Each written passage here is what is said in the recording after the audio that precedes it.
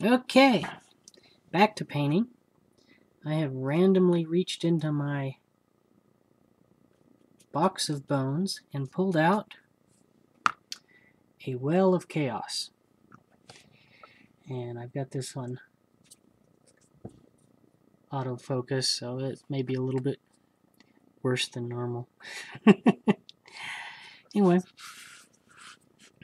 maybe if I hold it down, just point, keep my hands out of the way. It's got like a squid woman on the front, and there's lots of little symbols on the edges, and there's big siglets or whatever they're called. I've just got blue tacked to my little painting tray here. And I have not primed it because I am planning to paint almost straight out of the bottle because that's what you're supposed to be able to do with bones. So I'm going to try it. And what I've got is stone gray. And I'm pretty much just going to go over all the stone areas. And I'm not worried too much about getting it clean. This is going to be one of those where I go back and repaint over things. I also haven't tried to trim this up by cleaning any mold lines or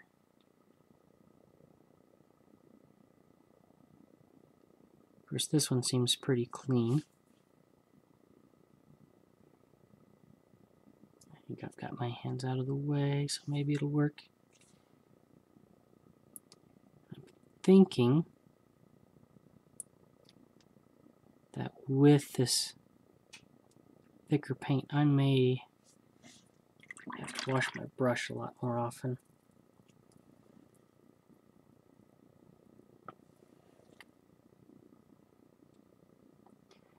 But anyway, I plan to, you know, sitting here thinking about what I can do with this.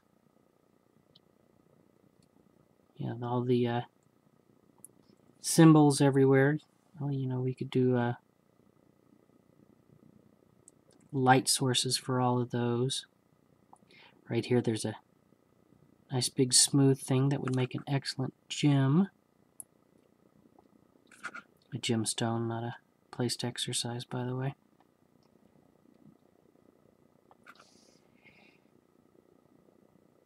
So that may be an option. So I can practice on that technique. I've Also got the little wheel, wheel well, well right there. So that may be a good spot to do some water effects. Not exactly sure what I would do on it other than fill it up with water. Still, that's maybe not bad a bad idea.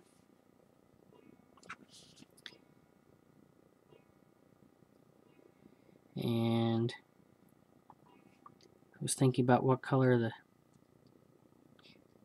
the Squidward here needs to be. I'm thinking I may try some purplish flesh on her.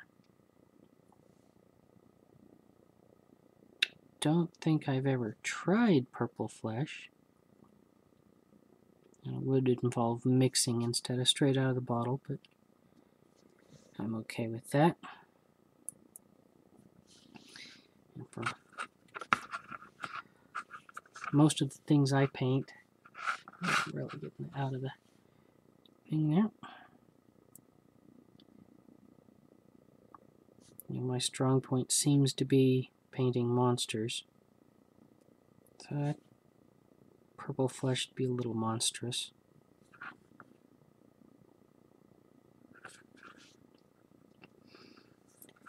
Ah. If I sound a little tired, it's because I am. Doing this late at night, and I have switched to a stand-up cubicle. Sort of. A lot of the people who work getting their desks evaluated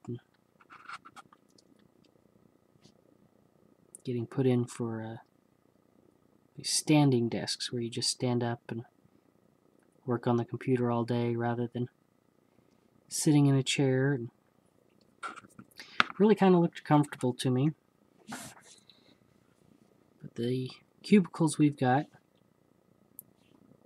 are able to be cranked up and adjustable, and I am short enough that with three reams of paper, I can put my monitors up high enough and I can sit there and stand. And I've tried this once before. If you're bored, just mute. and I lasted, I think, a day and a half before I decided, no, I gotta sit down. But lately, I've just been you know, trying to find little things I can do to help lose a little weight. I'm not super fat by any means, but the past two months I've gained five pounds. And coming from someone who weighed a whole buck twenty in high school, that's, that's a lot of weight to me.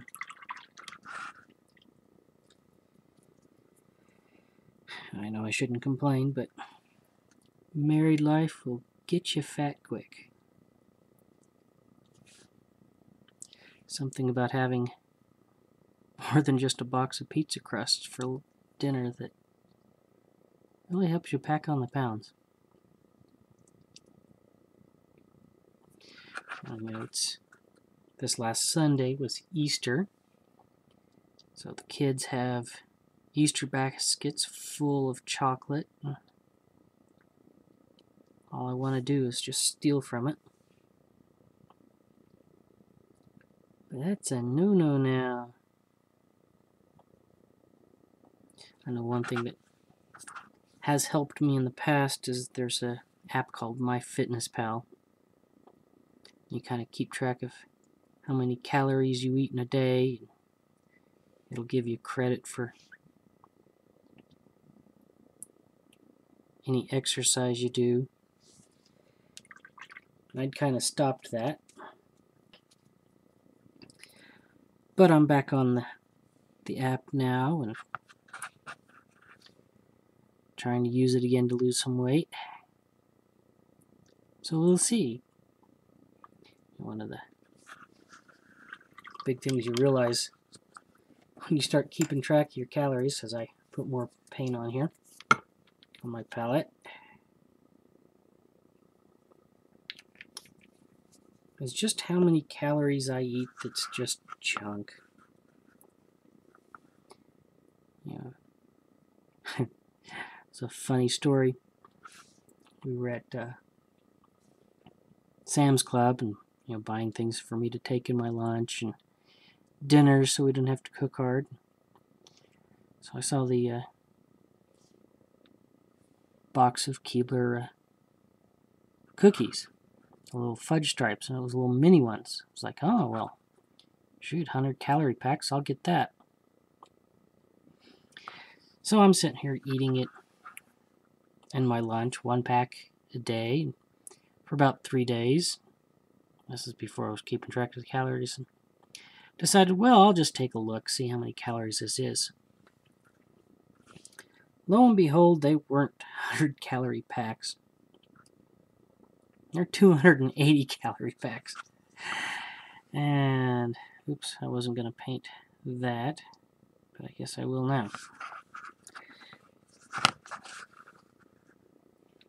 And so the calorie packs, or the regular packs, were then divided up into thirds so I could have my calorie 100 calorie packs. Decided even then, eh, those aren't really worth it.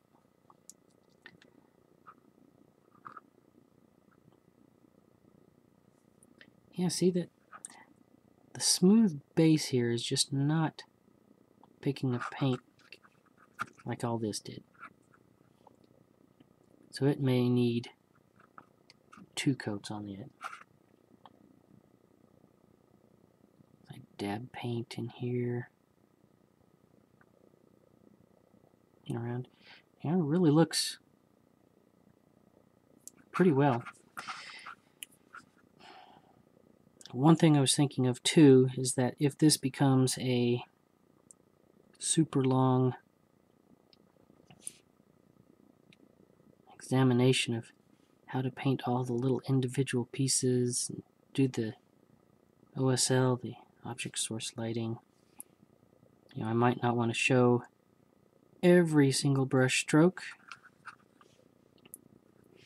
but at this point it's going to be.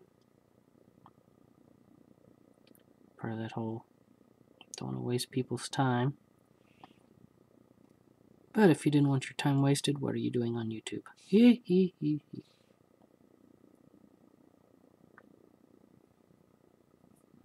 Got a stray hair there. Yeah, see it's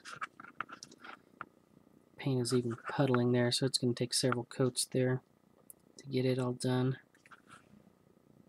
as a smooth layer. Of course, I guess I really stone, I don't have to get it super smooth. It'll almost add to the atmosphere of it. Course, I don't want it to look like concrete either. Or if that says just kidding in the sculptor's mind.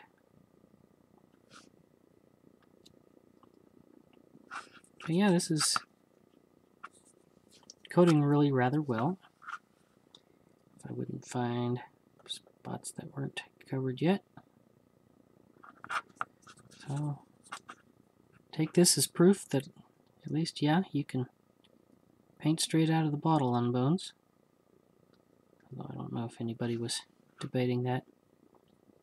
I still enjoy priming so we can see all the details, but this base coat is getting it fairly well.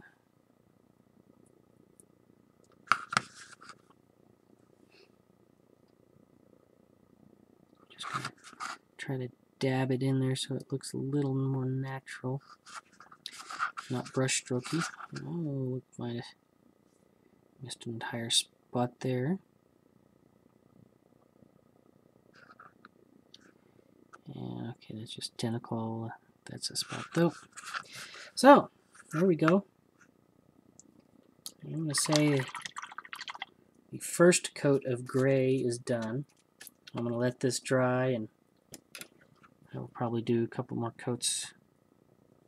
I finish painting that, put a bit more on there.